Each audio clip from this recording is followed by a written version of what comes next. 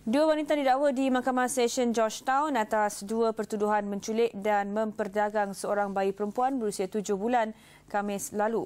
Tertuduh Zuzita Ahmad, 43 tahun dan Oi Hoi Ling, 37 tahun bagaimanapun mengaku tidak bersalah dan uh, minta dibicarakan sebaik pertuduhan dibacakan di hadapan Hakim Wan Nurzanwa Wan Ahmad. Mereka dituduh mengikut Seksyen 363 Kanun Keseksaan dan dibaca bersama Seksyen 34 Kanun yang sama yang memperuntukkan hukuman penjara sehingga tujuh tahun serta denda jika sabit kesalahan. Bagi pertuduhan pertama, Zuita Ahmad dan Ui Hulin didakwa menculik bayi perempuan berkenaan daripada jagaan neneknya Farida Hussein 53 tahun di rumahnya di Blok 231 Lorong Lembah Ria 1 Taman Happy Valley Air Hitam pada jam 3.30 petang 12 Disember lalu.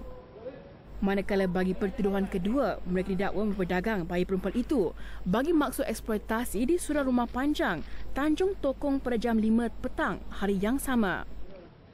Untuk pertuduhan itu, Zuzita dan Ui didakwa mengikut Seksyen 14 Akta Anti Pemedangan Orang 2007 yang membentukkan hukuman penjara maksimum 20 tahun serta denda jika sabit kesalahan. Kedua-dua tertuduh tidak diwakili peguam dan tidak dibenarkan ikat jamin. 22 Januari depan ditetapkan untuk sebutan semula kes.